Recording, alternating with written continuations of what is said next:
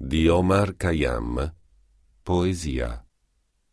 O cuore, che non ti prenda dolore di questo mondo consunto. Tu non sei cosa vana, di vani dolori non prenderti cura, poiché ciò che è stato è passato e ciò che non è non è ancora.